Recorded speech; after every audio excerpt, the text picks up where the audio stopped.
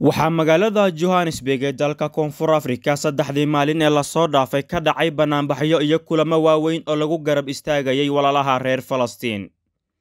Maalinkii jimcaha ayaa barxadda weyn ee fardowsburg lagu tukaday salaada khudbada jimcada iyadoo halkaasi duco iyo lacag aruurin loogu sameeyey shacabka dhibaataysan ee reer falastiin.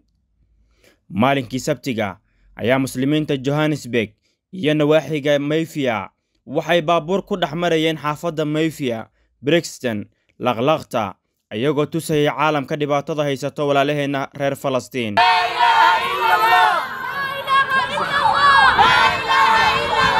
Maalinkii axadda ayaa waxaa barxadda fardowsburg lagu soo bandhigay waxyaabaha ay carruurta ku cayaaraan oo kala nooc ah cuntooyin iyo waxyaabo badan si bulshada muslimiinta ah ay ugu tukaamaystaan dhaqaalaha ka soo xaroodana halkaasi loogu deeqo walaalaha reer falastiin lacag dhan boqol iyo konton kun oo raan oo u dhiganta siddeed kun iyo boqol dollarka maraykanka ah ayaa habeennimadii xalay ahayd lagu wareejiyey axmed saciid oo ka socday hay'adda umayd waqaf oo ka mid ah hay'adaha caawinaya walaalaha falastiin. Ahna maxamed cabdulaahi julaybiib ahna directorada mafia muslim youth organization ayaa caawa waxaan halkan iskugu imaanay in aan u soo aan aan gudbinno mise hanover wax la yidhaahdo inaan samayno lacagtii walaalaha muslimiinta aan ka soo qaadnay ee ugu soo tabarruceen walaalahooda reer falastiin oo burburka iyo dhibaatada haysato ayaan caawa aan ku aamini doonnaa hay'addan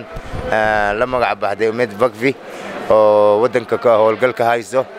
Insha allah lacagtaas oo dhan boqol iyo konton kun oo lacagta waddanka south africa ransk marka lacagtii waatan hortayda taallo insha allah waan ku wareejini doonaa ninkan waftigaas ka socdo sheekh axmed jazaakum allah khayr thank you so much.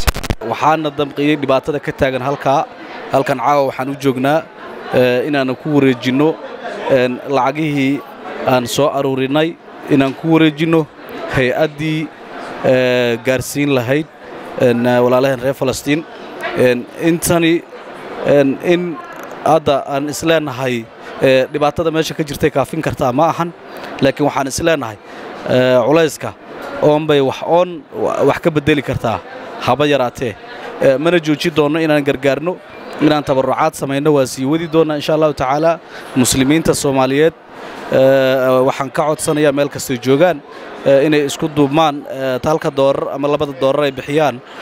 Qof walaala oo dhibban oo madfac ku dhacay gurigiisiina ka dumiyey oo dhibaataysanoo dhiigbaxaya dawaysa marka ilaahay subxaana wa tacala waxaan rajaynayaa wixii aan aruna inuu u barakeeyo. Ii tahay inaan caawa halkan aan kaga qayb qaato jaaliyadda muslimiinta ah ee ku nool johannesburg oo lacag deeqa ugu deeqay walaalahooda falastiin waxay halkaas kaa tusaysaa ayagoo qaxooti ah dalal badan oo afrika ka kala yimid dhibaato dalalkooda uga soo cararay inay dhibayso xanuunka maanta ka taagan falastiin oo ah qaxooti qaxooti kala caawinaya muslimnimadaana intaas keenaysa የመጣሁት ከጆሃንስበርግ ሙስሊም ሴቶች ኮላቦሬሽን ይህንን ፕሮግራም ስናዘጋጅ ሶስት ቀን ሆኖናል።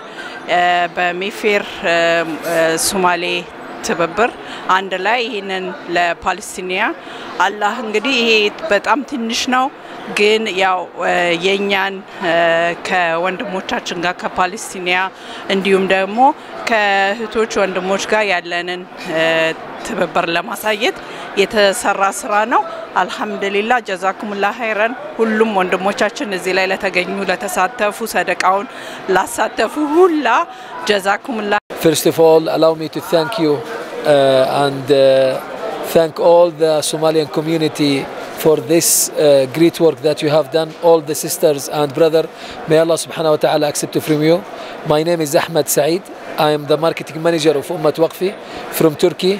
Alhamdulillah Rabbil Alameen, after the three days of the activities that has been done by My Fair uh, Muslim Youth Organization as well as the Johannesburg Women Coalition. Uh, Barakallah fikum for the efforts that you have done and for the donation that you have delivered. Inshallah, the money that we receive it with 150,000, inshallah, it will reach to the people of Gaza, to the needy peoples, to the women, to the children, to people who are suffering from the current situation. May Allah subhanahu wa ta'ala accept it from you. And bi'idhnillah subhanahu wa ta'ala, we'll keep going and doing the projects that we are doing. And uh, in a few weeks from now, you will receive the reports of the project that is already done by your names. And uh, for whoever would like to continue, inshallah, we will be able to implement in behalf of you. Barakallah fikum. Allow me to thank brother uh, sister Selma, and the rest of the brothers, brother Abdullah, and the rest of the brothers and sister here. Actually, the efforts that I saw. وتولنا فيمن توليت وقنا واصرف عنا بفضلك شر ما قضيت فإنك سبحانك تقضي sheekh axmed al-omari oo ka mid ah guddiga masjidka barakaysan ee alaksa ayaa meel fagaaraha ugu duceeyey walaalaha reer falastiin waxa uuna u mahad celiyey dadka soomaaliyeed iyo weliba dowladda soomaaliya أن نحمل رأس الحرب في الجهاد في سبيل الله نعم الجهاد النظيف الجهاد الذي يعبد الطريق للتحرير لتحرير قدسنا وأقصانا. ولذلك إخوانكم في غزة العزة سموا غزوتهم بطوفان الأقصى. ولا تنقصهم اللهم اكرمهم ولا تذلهم اللهم اعطهم ولا تحرمهم اللهم مدهم rashiid xuseen karaash shabeelle t v rosbank johannesburg isbitaalka alcaasima ayaa u soo kordhiyey bajaajyada gobolka banaadir adeega bajaaj kaabe oo kaarar ay ku helayaan waana qiimo dhimis boqolkiiba konton dhammaan adeegyada isbitaalka haddii aad bajaajla tahay ka faa'iidayso fursaddan qaaliga ah uu ku sameeyey isbitaalka alcaasima